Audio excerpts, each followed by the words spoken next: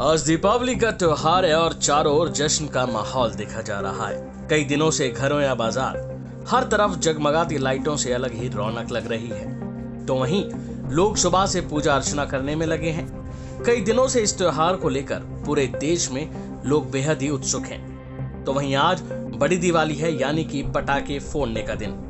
लेकिन आपको बता दें कि सरकारों ने राज्यों में पटाखों पर बैन लगा रखा है। ताकि लोगों के साथ कोई अनहोनी ना हो।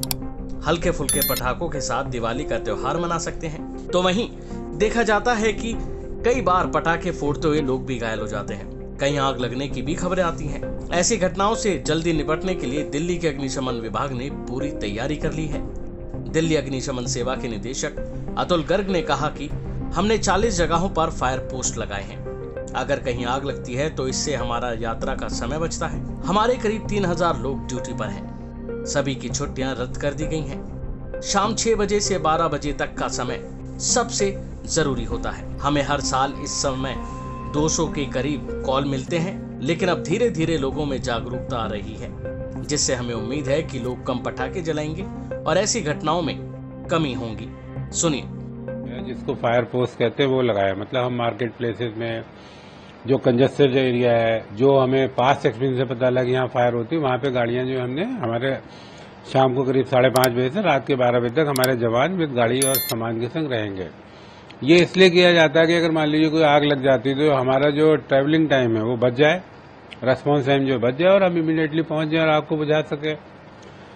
आपको जैसे पता है कि हर साल की तरह इस साल भी करीब करीब तीन हज़ार लोग जो हैं हमारे ड्यूटी पे हैं। सभी की छुट्टियाँ जो है हम रिस्ट्रिक्ट कर देते हैं। छुट्टी बहुत स्पेशल केस में दी जाती है। किसी का डेथ हो गया एक्सीडेंट है या किसी की शादी है, ऐसे कुछ मतलब बहुत ही रेयर केस में दी जाती है। तो करीब करीब तीन हज़ार के लोग आसपास जो है हमारे पूरे जो है ड्यूटी पे रहेंगे। छह बजे से जो शाम का टाइम है और बारह बजे से। यही सबसे क्रूशल टाइम होता है हमारे लिए। और आप देखिए इसी छह घंटे के अंदर में हमें दो सौ से ज़्यादा कॉल मिलती है। पर इस बार हमें उम्मीद है कि लोग धीरे धीरे जागरूक हो गए। पटाखे कम बजेंगे तो कॉल कम आएँगे। लेकिन पटाखे सर बैन है दिल्ली में। सर इस बार पटाखे भी बैन है तो उम्मीद है सर इंसिडेंट्स जो है वो पिछले सालों के मुकाबले कम आएँगे? हालाँकि पिछले साल भी बैन थे लेकिन फिर जी ये आपकी बात से मैं लगता हूँ। धीरे धीरे लोगों में जागरूकता बढ़ रही है।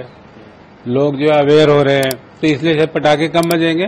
पिछली बार भी देखिए, जैसे बैन था, फिर भी जो है कुछ लोगों ने बजाए थे। आपने भी आवाज़ें सुनी होंगी। पर मेरे को उम्मीद है कि कॉल कम होंगी, क्योंकि पटाखों का जो प्रचलन है या चलन है जो है धीरे धीरे लोग जागरूक हो रहे हैं। कम हो रहा है और इस बार पटाखे नहीं बजेंगे या कम बजेंगे। तो फायर कॉल भी कम आएँगे। अभी के लिए फ़िलहाल इतना ही। बाकी अपडेट्स के लिए बने रहिए वन इंडिया हिंदी के साथ।